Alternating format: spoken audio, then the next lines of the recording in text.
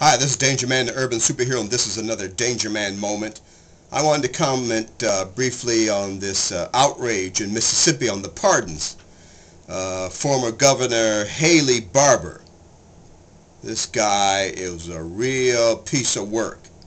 He pardoned over 200 criminals, and four of them were convicted killers. Uh, the former governor said they were it was there were crimes of passion or something, and they weren't likely to do them again, which was uh, not true. And then he talked about most of them had served at least you know 20 years of their their sentences, which again was not true. All right, and um, you know uh, these guys were vicious murderers. Okay. And uh, you know where does he get out? Then he broke a rule, Rule 124 or something, which says something about it has to be uh, there has to be a notice posted for 30 days.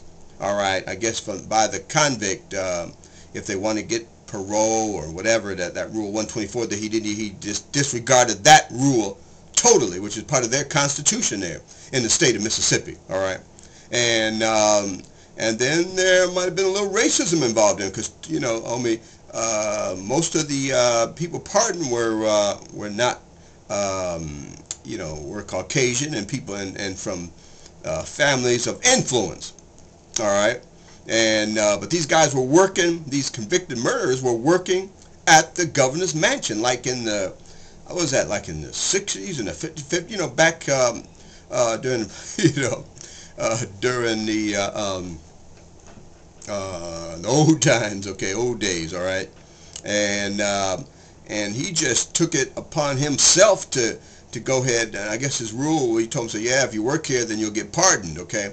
You know, and uh, just a total disregard for the for the law and the uh, the people, the victims, you know, the victims, you know, the people who had to live through this, and their family members can't get pardoned. Their their family members won't be able, aren't walking around again. All right, you know, uh, yeah, this this this. So there's the attorney general is seeking to have these uh, overturned, and uh, I hope this is done.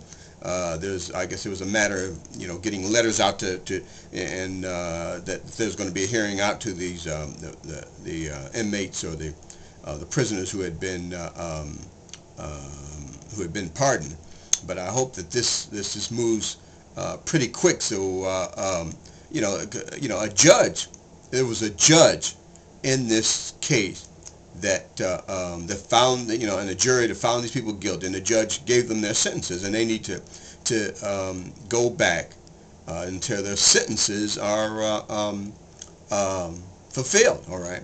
And uh, God I watched the victims and they were like I mean they're still like this happened yesterday and these crimes happened years ago but these people are hurt because their daughters their mothers who their sons will not be coming back again all right? So Haley Barbour man, you're a real uh, piece of work, okay? I hope you never run for another office again, all right? And, uh, you know, any legacy that you thought you would have had is gone, all right? So anyway, this is Danger Man Urban Superhero. Um, you know, I just wanted to uh, voice my displeasure with this former governor and hope that this uh, is remedied very quickly, all right? So anyway, you guys be safe out there watch your backs and, uh, you know, We'll talk to you later. This is Danger Man, Urban Superhero, and this, my friends, has been another Danger Man moment. Thank you.